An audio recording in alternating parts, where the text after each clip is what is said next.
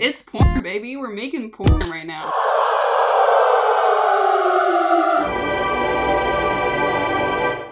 On December 17th, 2018, Tumblr became a wasteland, a shell of a platform. On that day, that fateful day when female presenting nipples were banished from the realm, when all of its users abandoned it for the greener, more free run pastures of Reddit and Twitter, Tumblr became effectively dead.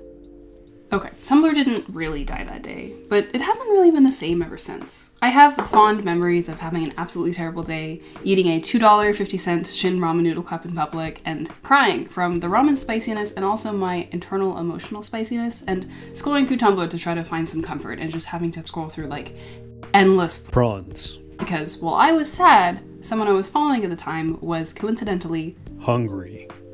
at the time, I thought this would be Tumblr forever. The good old days when Tumblr's content moderation policy was, and I quote, go nuts, show nuts, whatever. Tumblr's leftist leanings and its quite feminine and queer user base meant that there was stuff on there that you would not find elsewhere. Personal nudes, explicit racy gifs, and fan art all mingled with pop culture, Superwholock, memes, and very personal text posts. And then on December 17th, 2018, as I said before, Tumblr's policy radically changed. All of that adult stuff was banned. This stark shift towards a much more conservative style of content moderation happened again much more recently on December 24th, 2021, when users suddenly learned that hashtags like hashtag submission and hashtag doggy, but then also hashtag girl and hashtag long post and hashtag Tony the Tiger were banned.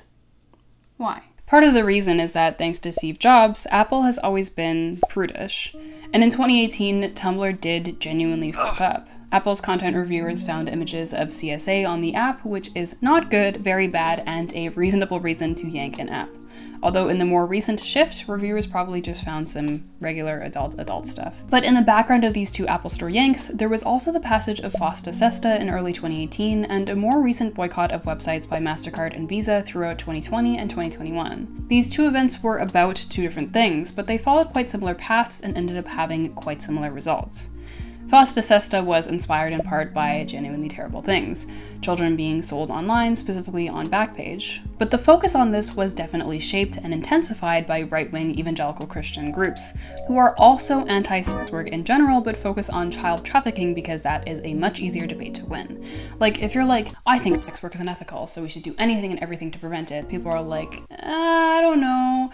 It's the oldest profession. Like, escorts seem okay. What about foot stuff? But if you're like, I think selling children is unethical and we should do anything and everything to prevent that, then people are like, yes, of course. In fact, 97 out of 99 senators agree that that is bad and worth preventing.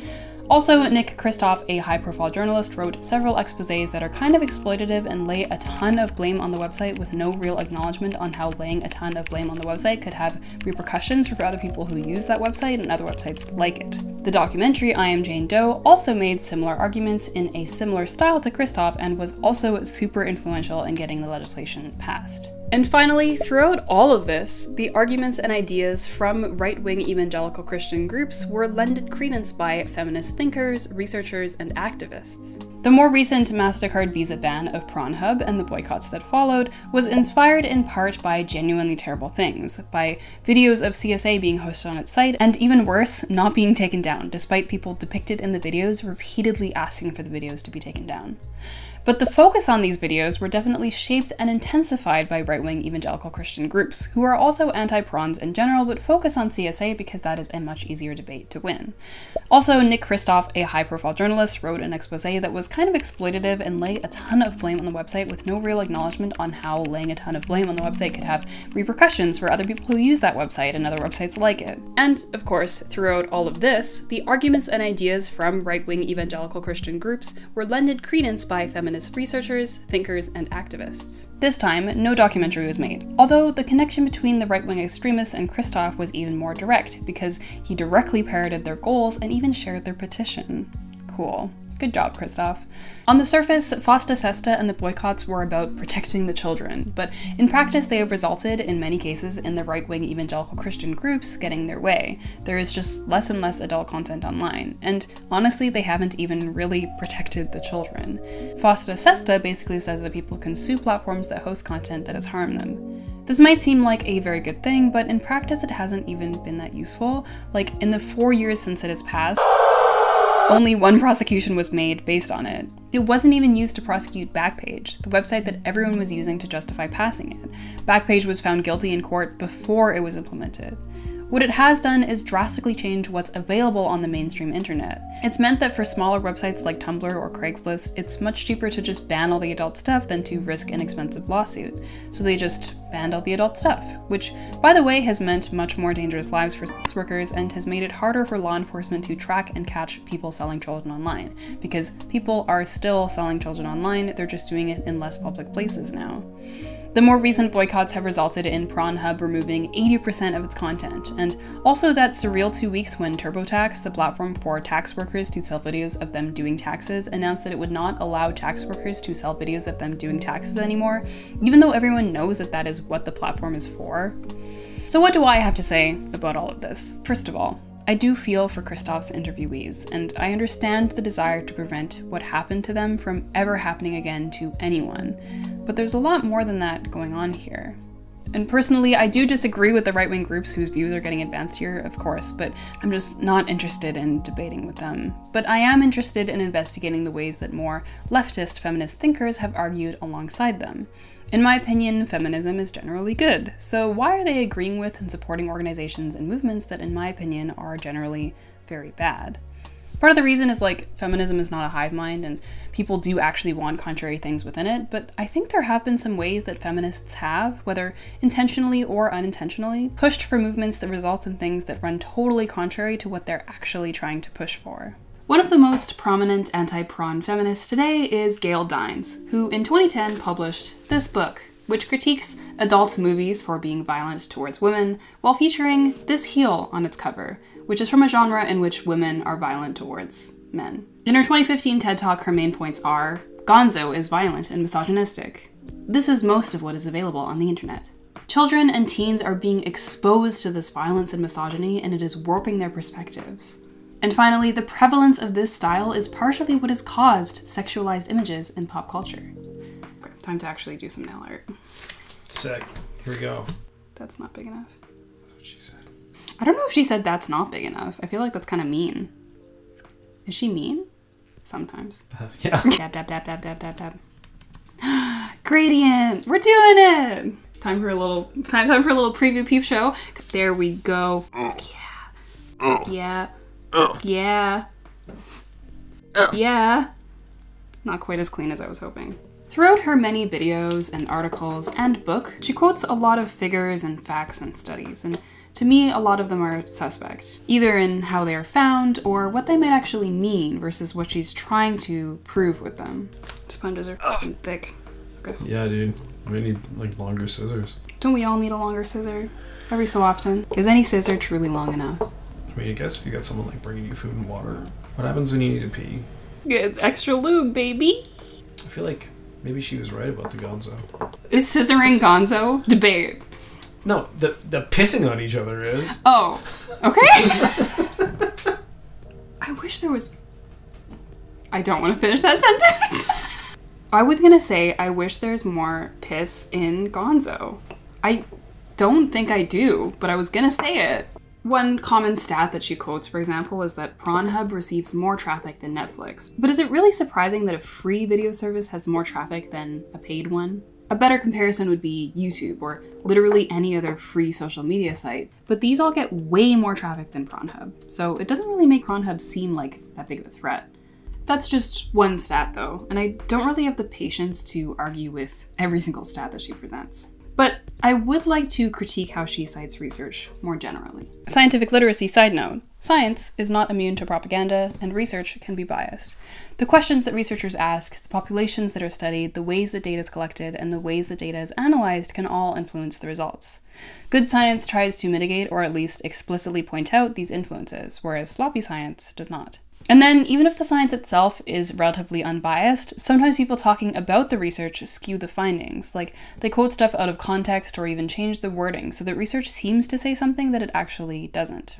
So, as much as we say trust the science, and you should generally trust the science, also be aware that people can and do use science and warp statistics to advance their own viewpoints and biases. Dines and her right wing allies say that research has proven that adult videos are often violent and often cause negative effects in its viewers. But based on my research of the research, Research has not proven this. Instead, researchers have found vastly different things in many, many different studies. For my research, I looked at a lit review. For those who don't know, a lit review is some researchers really thoroughly searching through existing research, reading through it, and analyzing the trends of what other researchers are finding and why. It's a really quick way to figure out what researchers collectively are currently saying about a topic. This lit review pointed out that studies have disagreed on the overall levels of violence in adult content. And the levels of violence they found depended on their definition of what is violent. So, studies that classified more things as violence found more overall violence, whereas studies that had much stricter definitions found less. And like sometimes these studies reach really fucking far to expand their definition of violence. For example, one recent study included these categories. And like, yeah, these genres are kind of fucked up, but they're not necessarily violent. Also, this study literally lied because they claim that these categories were based on the UN's definition of violence, and they just aren't. When it comes to its effects on viewers, a lot of research has been done that asks people about harms. Ooh, nice but very little that asks about positives. So, this is an example of how your research can be biased depending on the questions that you ask. Like, if you ask a participant, how has this been harmful? They're going to try to think of ways that it's been harmful. This is especially true for teenagers whose viewership of this is illegal. Teens are already encouraged to criticize their consumption and feel negatively about it, and also guilty. So, yeah, of course, there's tons of research finding all the ways that people, especially teens, say that this stuff is harmful, and very little finding any positives. But let's get back to the main arguments that Dines is making. This stuff is violent and it has negative effects. Specifically, it exemplifies and even causes women's oppression. These arguments come from an older feminist tradition, with key thinkers like Andrea Dworkin and Catharine A. MacKinnon. When Dine says stuff like kink.com is in violation of the United Nations Convention Against Torture, despite kink.com getting praised in the industry for very comprehensive consent and safety processes. This anti kink sentiment echoes feminists who also rallied against S&M in the 70s. Contemporary feminism has mostly left this behind. Feminists these days generally frown upon any allegation of a woman having false consciousness. If a woman says she enjoys gagging, she enjoys it. And actually, it is possible for someone to safely and sanely consent to torture. And to enjoy it. Amia Srinivasan has also recently given voice to these older feminist ideas, but in a more gentle and nuanced way. In an essay on prawns in her recently published book, she suggests what if? What if sometimes on screen violence has led to real violence? What if it's led to unsatisfactory sex? What if it does give us a script and the mainstream stuff gives us a bad one? Unlike Dines, Srinivasan even explicitly makes room for some material to actually be good. Of course, she mentions Erika Lust. Everybody fucking loves Erika Lust. But she's still arguing, like Dines, that mainstream prawns are aggressive and misogynistic, and consuming and enjoying them will make you aggressive and misogynistic. I wish there's more piss in Gonzo. When you combine her ideas in the prawn essay with the one that comes right after it in her book, it frames this whole issue in terms of desires, which I think is ultimately what a lot of this is really about. At different levels of these issues, there are different desires deemed unacceptable. To the public, these debates and laws and boycotts were only about the desires for child abuse or trafficking, and these desires are obviously very harmful and extremely unacceptable and should never be platformed. But underlying the push for the laws and the boycotts, right wing groups also were deeming non normative desires unacceptable and worth eradicating. For feminists supporting these movements, violent or patriarchal desires are deemed unacceptable and worth eradicating. Exactly how we counter the bad effects of prawns depends on what you think the bad effects are. So, if the bad effects are evil sins or the devastation of children's lives, then bans seem like a fine option. But contemporary feminists usually don't take such an extreme approach.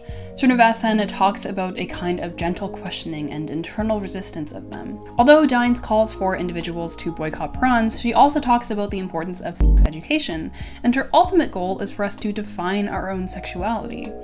To me, defining our own sexuality means making room for indie content, because, and I'm kind of agreeing with Srinivasan and Dines here, watching examples of something is a way to discover and give shape to your desire for it. But the current legislation and boycotts have encouraged websites to institute bans out of a fear of hosting anything risky at all, which has meant that it is harder to educate online. Tumblr was full of education materials, which are now all gone. YouTube's educators are unsupported by the platform by demonetization and threatened by content strikes. Right now, our video on ethical porn has been removed. It's not the first time that a video has been taken down by YouTube, but it is the first time that we petitioned to have it replaced and were denied. Each one of these is a strike regardless of the validity, and the more strikes against explanations, the higher the risk the whole channel, poof, disappears. And bans have meant that non mainstream content has disappeared, while mainstream stuff still prevails. Tumblr's communities are gone, and Prawnhub removed 80% of its content, everything from non verified accounts non verified, which in some cases meant users uploading harmful content, but in many other cases meant non professional, non mainstream content that catered to non normative desires, which is, again, now just gone. So, feminists like Gail Dines have supported movements that have made it harder for us to reach feminist goals. I understand where Srinivasan is coming from, but a big part of me still bristles at her and Dine's suggestions that some desires are more acceptable than others. Like, these arguments remind me of this implicit attitude that some people have that pegging is progressive. Pegging just means you like having stuff in your butt, and like, even if it's a copy of a bell hooks book, putting stuff in your butt does not make you a better feminist. But maybe I'm just biased being bi, my teen years were plagued with me struggling with unacceptable desires in the sense of like, if I desire women, that's bad because that's defying the expected status quo. And yet also, if I desire men, then that's also bad because maybe I don't really desire women and I'm just like faking all those other feelings and I don't actually deserve membership to the non status quo community. The only way I'm actually liberated from this struggle is when I just accept and make room for all of my desires without judgment or attempts to shape or repress or question them to recognize and even relish and be delighted by what bubbles up from my subconscious instead of being scared of what it might really mean. Of course, this is complicated. I don't want this to be taken as like every desire is fine and like only needs to be relished and never questioned and never resisted. Like beyond CSA and trafficking, I think there's a lot to be questioned around some desires, like how prawns play on racial stereotypes, which has its own set of intricacies and nuances that I haven't gotten into at all in this video. We can investigate our desires, but often it's a struggle for people to just make room for their desires at all and to accept and enjoy them as they are and this questioning and shunning and judgment can make it way harder. Like, I wonder how a hetero teen boy might feel about his desires if his mother takes one of Gail Dine's classes and tells him that the videos he's watching of people doing taxes are teaching him male dominance, female degradation, and the suppression of empathy. And Again, some of this questioning and shunning and judgment has made it harder for people to accept and explore and enjoy their desires because the stuff that catered to it is just gone now. I miss old Tumblr. It felt like an accurate representation of what it means to be an adult or a teen, with a rich, messy inner life of humor, politics, sexy feelings, and more all rattling around in there.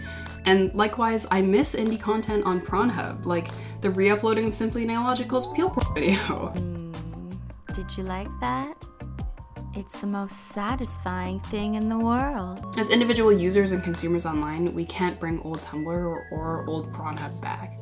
Perhaps the best we can do right now is to investigate or even just enjoy as best we can our own desires. And the best that I can do right now on this platform is to enjoy my desire to create and see satisfying nail peelies in honor of this beautiful genre pioneered right here on YouTube by Simply Nailogical. Thank you for watching. Subscribe, do all the things, etc. You ready to do some peels? Let's do it.